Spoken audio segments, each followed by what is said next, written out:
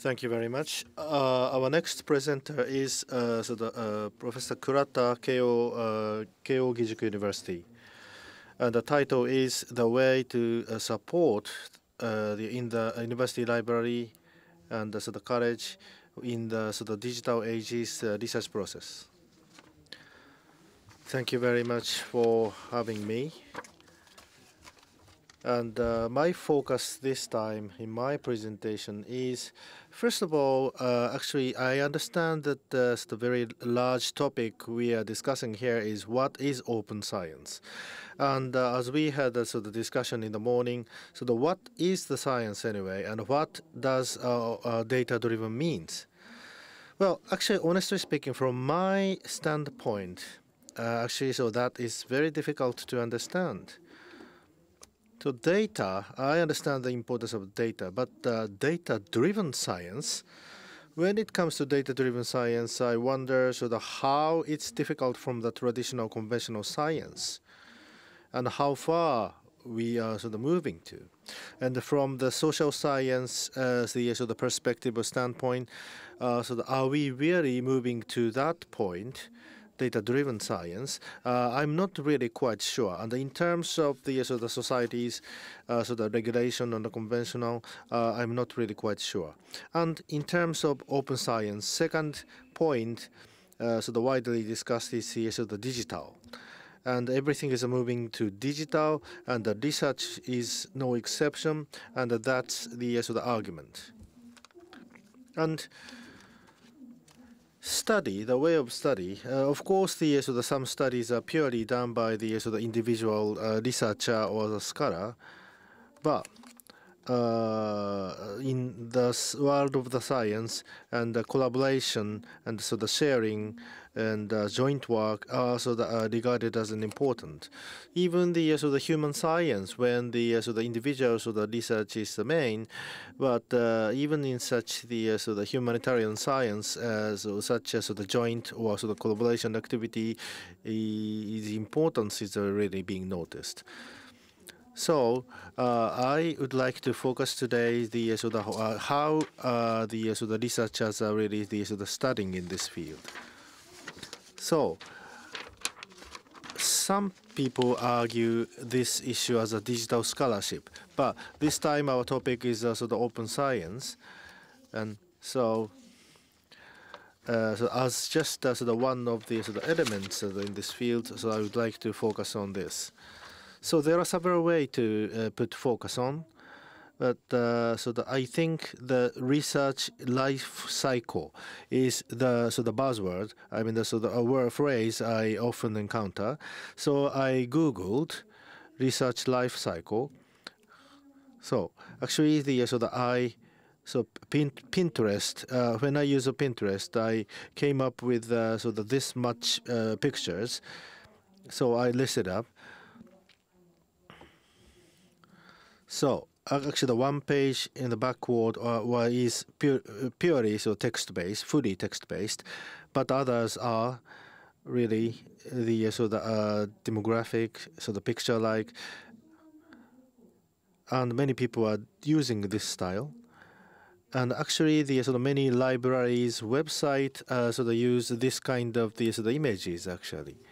Uh, when I look at this so the element,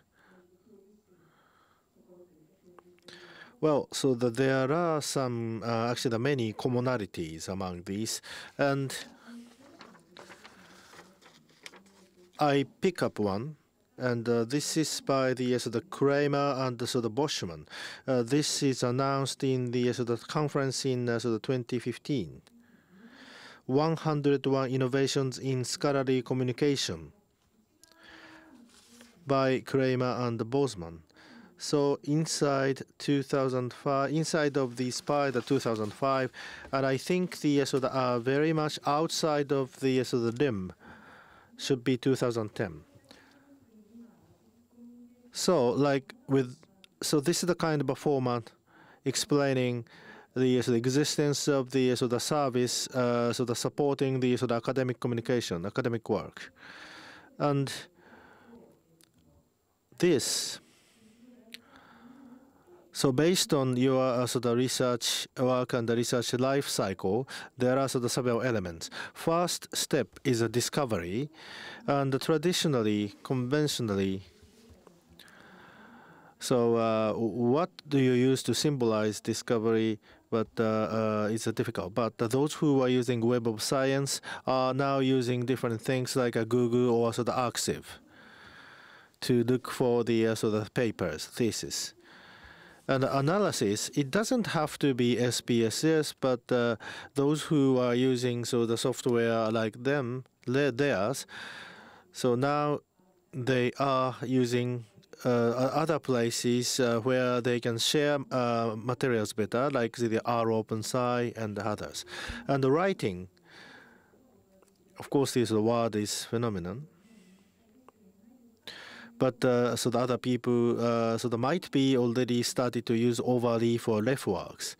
Publication, publication. So uh, from the so the magazine, traditional like the journal like Nature. So PLOS and so the Figshare are now uh, sort of being used to share the articles. Um, outreach. Uh, actually, the, so, the, when I translated outreach into Japanese, uh, so that it was very difficult for me to do. But uh, in this area, uh, so to, from Doi and uh, so the Google Scholar actually sort of helps this work. So actually, the outreach and uh, discovery are two sides of coin, I think. But uh, so anyhow, so that we can get the information through these uh, so the uh, channels. Lastly, assessment. it used to be only JCR or impact factor. But now these are other altmetrics, and we have several different ways to do the assessment. workflow, uh, so there has been sort of several uh, sort of different things, ways. And in 2017, this was also a uh, sort of academic uh, sort of research done in 2017. This says now we have uh, sort of reached to the time that uh, you can actually pick up anything you want from these availabilities. But choosing from these and uh, picking up these appropriate for your your as objective is not really easy. So this is the overall situation, and uh, then let me discuss how what uh, am I doing as an individual researcher. I wish if I had uh, sort of uh, a clear answer, but I just give an example anyhow. In case of the sort of college scholars and uh, researchers, uh, actually the sort of uh, multiple uh, of objectives needs to be achieved. And of course, the foundation is the sort of, uh, sort of my own study, own research. And the training, the uh, so the uh, uh, researchers, the juniors, are sort of very more actually also very important. And also, I am supposed to play role in the uh, so the academic circles and academic meetings. And uh, so digitization, so the impact is also coming to this field. Uh, of course, there are some aspects we can actually the uh, so the leverage my own study, but uh, so that the uh, others are not. But so by researchers, uh, the level of study and also objective and the steps are very different by individual researchers. So fr from these the so the elements actually the so I need to have the so the best control so to do these uh, all, uh, multiple objectives. And so uh, actually the discovery also has the so the several multiple aspects. And information search, uh, actually the so the I continue to use OPAC, but uh, so the Google Scholar is of course I, I need to use them, and I receive the so the email and so that I do these different things. And uh, uh, even today, and I sometimes uh, so that I really need to go to the so the journals or magazines, and uh, I cannot really move away from that. And in several stage of the so the research, uh, actually the so the searching information on the web and also the so the searching for the research from uh, the so the excerpt uh, so the uh, uh, looks are different but they are also uh, the so the relatively so the linked. So but in reality so the actually the, there are some the sort of articles only available in the sort of paper media so digital is of course increasing, but uh, so I still need to read papers and the memo of the ideas and also the footnote of the uh, uh, so the research. So digital, uh, I sometimes use digital, but uh, so the paper is uh, still very useful. So reading information and uh, sort of making notes. I have been thinking that I really want to integrate this process digitally, but it's not really easy. And also in case of a joint study, this becomes more complicated. So I um wonder, I have been wondering so that if any the sort of better uh, sort of service, combined service available. And so I check the so the preceding so the studies in my research, and uh, uh, so data is once again important here. So for example, the so the for social research, uh, so the questionnaire data, I refer to that. And but now the so the each individual uh, so the data slip uh, uh, would be so the available but availability is changing, but uh, then that uh, method of the uh, so the this, survey planning is being changed or not, that's really something I'm not really quite sure. So, so having the so the higher and better availability of the t, uh, data does not necessarily mean that uh, so that we need to use different method in terms of the uh, so the survey research, and actually in this uh, so the survey and so the this survey research uh, so actually the, so there are some really cumbersome so the procedures uh, to receive the so the subsidies and going through the so the ethical committee others. So for these these are cumbersome process procedures. I think the uh, so as a researcher, I really want to have uh, someone's assistance, someone's help. But this kind of the so the paperwork are also part of uh, uh so the uh, my work as a researcher. So as uh, one of the researchers in, this field how I can handle this uh, efficiently is uh, so that something so that I am uh, really having hard time to manage. And I do not really share the so the analytic tools with others very often yet, but among those who are sort of using the very advanced the so analytic study, so actually the sharing the so the analytics so the methodology with others are already started among them. And so how do you sort of manage in your own study research is becoming more and more important point. If even if the, your research is not really so the large scale study, once you start, uh, the actually the so the data is increasing and a number of files will be created. So the managing those uh, so the large volume of the so the data would be very very hard work. And so so uh, finally, uh, so that we so we use Dropbox Wiki, and uh, so finally we make those things uh, uh, to public to by using Zenodo or Figshare. And for writing and the presentation, uh, really so that rely on the so the traditional way, but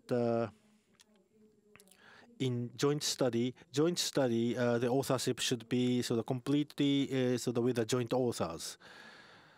So uh, with the uh, so the other authors, I sort of keep communicating with them. Then the, sort of finally the uh, so the uh, uh, thesis will be finalized. Then uh, actually the uh, so the English check and also uh, the so the journal evidence check. cited citation check, we need to rely on the professional, and also posting the so the article is not really easy I hope I wish if I could do, but man, I could manage by myself. Actually, the methodology or steps to do the posting to the site is uh, very uh, cumbersome. So if I were told that okay, I give you so, uh, so you, if you pay me ten thousand yen, so I will manage that, and I really feel like so that maybe so that I can use such service. Outreach. Actually, the, so the researcher uh, traditionally has not been really aware of the necessity of the, so the outreach. And actually, the, uh, I register myself as the so the Google Ware, but when I published the so the scientific article, within uh, not within a day, but uh, within a week or so, I think uh, so the Google actually the uh, actually I receive email from Google. I just press yes, and so when my uh, so the article is uh, cited, and uh, so the I will be so the quickly noticed. So when I register, actually, the, if I register ResearchGate and uh, through ResearchGate, actually, I will be contacted that okay, I have read so the your article.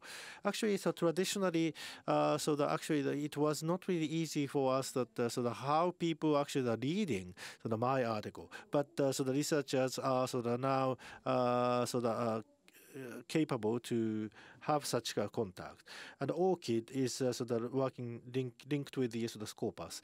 And uh, uh, so outreach, so uh, but on the other hand, in so the Keio Gijuku University, uh, so the, our university, the so the database of the so the research output is uh, so the very poor quality, and I really need to input the sort of each service.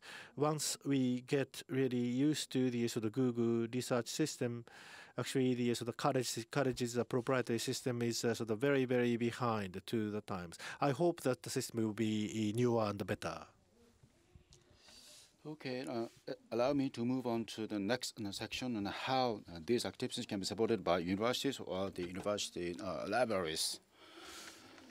Well, um, the Mr. Professor Murayama said that you know, um, well, when it comes to the academic meetings, of course, academic meeting, uh, academic on a circle uh, can be a very good um, uh, conduit or the kind of go-between. But how about universities? Because uh, the uh, we have academic communities, uh, but when it comes to the universities, of course, we have nothing but institutions, so to speak we belong to the same institution, but uh, each university actually belongs to the different academic um, community and society. And uh, how, under those circumstances, uh, how libraries can actually support us, it is going to be quite challenging. Well, we still have a long way to go here in Japan, but when it comes to the uh, U.S. or the European actually uh, landscape, actually there are many uh, cases being reported. At high level, for example, the last point, actual instruction and consultants. I'm not saying that you know, they are really bad. I, I would agree that you know, they are quite important. For example, digital management and how digital management can be you know, created. And others, actually, um, the libraries can help us in this area. But uh, it is instruction. In other words, uh, and the you know uh, the libraries actually are going to act as kind of go-between and actually you know, to give us the latest updates. Whether or not that is going to be the end point, probably not. If I may say now again, um, we need to have the uh, what I call the academic communication system. I think we need to have good transformation uh, you know, to be applied to this uh, system. For example, you know, we have repository. I think repository definitely are meeting with certain expectations. Again, we are now talking about open access and whether or not uh, they have become very important stakeholders. I have to say, no. As of now, uh, they have not fully become uh, the a good important contributor there. Of course, uh, going forward, data management uh, and data uh, storage will be quite important. How the data can, whether or not libraries will be able to actually store the data, whether or not university campuses actually can store the data uh, Zenodo and uh, Figshare, and actually, you know, it is going to be in a competitive uh, landscape, whether or not uh, libraries or devices, for that matter, can be competitive enough vis-a-vis you know, those you know, service providers. I don't think you know, competition is going to be that important, but again, uh, I think there ought to be the certain uh, divisions of labor, so to speak, within the you know, ecosystem. So what uh, are the things and we can expect vis-a-vis universities or the libraries, so to speak? Professor David, and actually, according to his presentation, this is going to be rather impossible. Again, maybe uh, we can pay more attention to the totally different in the system. And uh, one interesting idea is, as a movement, is uh, what uh, they call what we call the scholarly commons. Scholarly commons. In other words, uh, this consists of uh, the many different and the materials and the tools and everything. Every one of the things is going to be you know, shareable in the principle. And the educators and the researchers and also the publishers actually uh, they are going to actually you know, share this important and baseline idea. These things are going to be shared. Of course, it's not just uh, limited to this. Of course, uh, there is going to be um, the well, even if it, uh, well, the, when we talk about mixture, again, it's got to be uh, on the much closer side of the open and openness. So with this and ideas now, uh, some movements are underway, uh, what they call the scholarly commons. This is just one, just idea, quote unquote universities, university, uh, the libraries, whether or not, and what kind of engagement libraries are and can have. Maybe uh, we still have a long way to go, but again, uh, what we can do, kind of uh, the low-hanging fruit, within uh, the institution, within the university, uh, there are varieties of information on the side of research and being generated and being managed. But the fact is that they are not linked, they are not managed. So with that point in mind, again, when it comes to the you know uh, education method and also the you know funding and um, the patents and, and the uh, publishing and the research outcome, maybe you know, these things can be you know, shared, managed by the university or university uh, library. And um, Horizon uh, 2020, again, um, this is one of the initiatives, actually, in a common European uh, research uh, information format as I've introduced in the morning session. Again, um, the uh, metadata can be applicable to the research space. If I'm not wrong, please uh, correct me if I'm wrong. So um, the metadata can be also uh, utilized uh, in this kind of fashion. I think you know, this is going to be quite interesting. Uh, but again, um, you know, uh, if this is going to be possible, I think you know we I believe that libraries and find it much closer to them. Maybe there's going to be good um, the uh, uh, chemistry, so to speak, instruction and consulting besides them, and also there's some you know infrastructure side activities probably can be recommended. And if that's the case, I think you know libraries can make a great contributions. That's all from me. Thank you. Thank you, Professor. Time-wise, I think we have some time to receive a quick question. Well, Hida-san, uh, if you could share your uh, feedbacks and how you feel about, uh, you know, after having listened to um, presentation. Any comments, please, from you? Uh, this was fantastic, and I think I'm really appreciative that you brought up the Force 11 Scholarly Commons model because I think the idea of the shared tools um, in the, sort of in the center and the, the common principles for operating is where we're thinking in the library community that we need to do a lot of work is to define those principles to be able to assert, con, reassert control over outputs and and, um, uh, and and the sort of workflow and workspace here. Um, this is fantastic.